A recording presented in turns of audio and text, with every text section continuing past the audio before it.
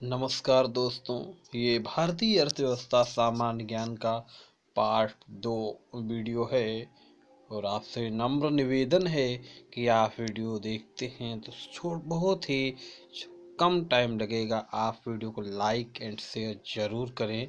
अगर आपको वीडियो पसंद आती है तो ज़रूर ये काम करें। चलिए वीडियो स्टार्ट करते हैं। ये हमारी भारतीय अर्थव्यवस्था दूसरा वीडियो है।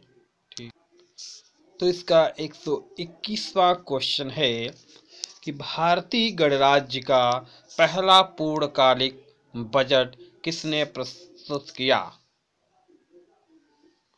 तो यानी ये दिया है कि भारतीय गणराज्य का पहला पूर्णकालिक बजट कब प्रस्तुत किया गया? ये क्वेश्चन होना चाहिए, यहाँ पे थोड़ा मिस्टेक है। तो ये क्वेश्चन कब हुआ है? 1950 1951 यानी 1950 से उन्नीस सौ इक्यावन में। नेक्स्ट है, देश में किन प्रधानमंत्रियों को स्वयं बजट प्रस्तुत करने का श्रेय हासिल है?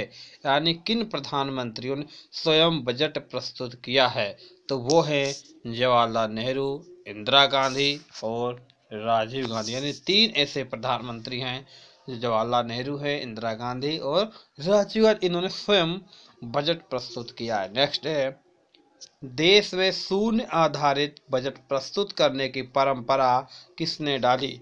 तो शून्य आधारित बजट की परंपरा डाली है राजीव गांधी ने। नेक्स्ट क्वेश्चन है। देश में आज तक वित्त मंत्रालय का कार्यभार संभालने वाली एकमात्र महिला कौन रही है? तो काफ़ी इम्पोर्टेंट क्वेश्चन हो गया ये। इंदिरा गांधी, केवल एकमात्र जो वित्त मंत्रालय का कार्यभार संभालने वाली महिला है, इंदिरा गांधी।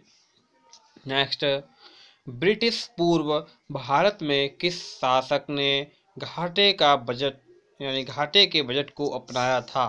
तो वो है मोहम्मद बिन तुगलक। काफ़ी इम्पोर्टेंट है इतिहास के दृष्टिकोण से कि ब्रिटिश पूर्व भारत में किस शासक ने घाटे के बजट को अपनाया था तो वह है मोहम्मद बिन तुगलक। नेक्स्ट कार्य या परिणाम या लक्ष्यों की प्राप्ति के आधार पर सृजित बजट क्या कहलाता है? तो वो कहलाता है निष्पादन बजट। नेक्स्ट है, पूंजीगत प्राप्तियों एवं पूंजीगत भुगतानों को किस बजट में सम्मिलित किया जाता है? तो वो है पूंजी बजट। नेक्स्ट किस बजट के अंतर्गत किसी भी विभाग अथवा संगठन द्वारा प्रस्तावित व्यय की प्रत्येक मद को बिल्कुल नई मत मान लिया जाता है? तो वो है शून्य आधारित बजट। नेक्स्ट, बजट का वह रूप क्या कहलाता है, जिसमें बजट को लिंग विशेष के आधार पर तैयार किया जाता है, या बजट में लिंग विशेष के लिए अलग से बजटी प्रावधान किया जाता है? तो वो है जेंडर बजट। नेक्स्ट जिस कर की अदायगी उसी व्यक्ति द्वारा की जाती है, जिस पर वह कानूनी रूप से लगाया जाता है, उसे क्या कहा जाता है? तो वो होता है प्रत्यक्ष कर, यानी प्रत्यक्ष कर वो होता है इस पर लगाया जाता है, उसी को अदा करना पड़ता है। नेक्स्ट क्वेश्चन है आय कर निगम कर धन कर, संपदा कर, उपहार कर व्यय कर व ब्याज कर किस तरह के कर हैं? तो ये सभी कर कैसे हैं? प्रत्यक्ष कर हैं।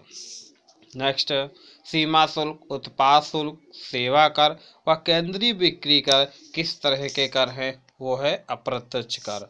और अब नया कर हो गया है जीएसटी तो वो भी अप्रत्यक्ष कर के लिस्ट में है। नेक्स्ट किसी भी देश की घरेलू भौगोलिक सीमा के अंतर्गत एक लेखा वर्ष में सभी उत्पादकों, ब्रैकेट में सामान्य निवासियों तथा गैर निवासियों द्वारा उत्पादित समस्त वस्तुओं एवं एवं सेवाओं के बाज़ार मूल्य के योग को क्या कहते हैं?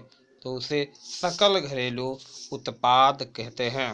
नेक्स्ट है, महबूब उल हक के सहयोगी कौन थे? तो उनके सहयोगी थे ए के सेन तथा सिंगर हंस। नेक्स्ट मानव विकास सूचकांक की अवधारणा का प्रतिपादन कब किया गया? तो इसका प्रतिपादन 1990 में किया गया। नेक्स्ट मानव विकास सूचकांक में कौन कौन से सूचकांक सम्मिलित किए जाते हैं? तो इसमें जो सम्मिलित किए जाते हैं, जीवन प्रत्याशा सूचकांक, शिक्षा सूचकांक तथा सकल घरेलू उत्पाद सूचकांक, यानी मानव विकास सूचकांक में तीन सूचकांक शामिल किए जाते हैं। पहला है जीवन प्रत्याशा सूचकांक, दूसरा है शिक्षा सूचकांक और तीसरा है सकल घरेलू उत्पाद सूचकांक। नेक्स्ट है, आर्थिक समृद्ध दर क्या है? तो आर्थिक समृद्ध दर क्या है? ये होती है सकल घरेलू उत्पाद में परिवर्तन की दर, और इसी को जीडीपी भी कहते हैं। नेक्स्ट आर्थिक विकास दर क्या है? निवल राष्ट्रीय उत्पादन में परिवर्तन क्या परिवर्तन के दर यानी एनएनपी तो काफ़ी इम्पोर्टेंट क्वेश्चन है कि आर्थिक समृद्ध दर और आर्थिक विकास दर। तो ये याद रखना है कि समृद्ध होगी तो वो सकल घरेलू उत्पाद जीडीपी में परिवर्तन होगा और आर्थिक विकास की बात होगी तो निवल राष्ट्रीय उत्पाद एनएनपी में परिवर्तन की दर होगी ठीक है?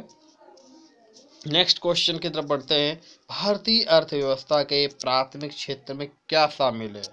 कृषि तथा पशुपालन, वन उद्योग तथा लेट बनाना, मछली पालन तथा खनन उत्खनन। नेक्स्ट भारतीय अर्थव्यवस्था के तृतीय क्षेत्र में क्या शामिल है?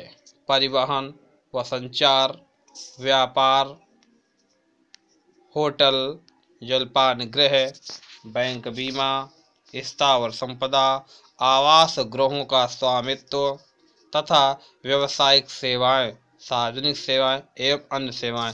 ये सभी भारतीय अर्थव्यवस्था के प्रत्येक क्षेत्र में शामिल है। आपको ये वीडियो कैसा लगा, हमें कमेंट ज़रूर करें और वीडियो को लाइक ज़रूर करते रहें, जिससे मैं समझूं कि मेरा वीडियो कुछ अच्छा था, कुछ लोगों को लिए ये लाभदायक रहा, कुछ लोगों को जानकारी देने में सफल सिद्ध हुआ है तो आप लाइक एंड शेयर ज़रूर करें।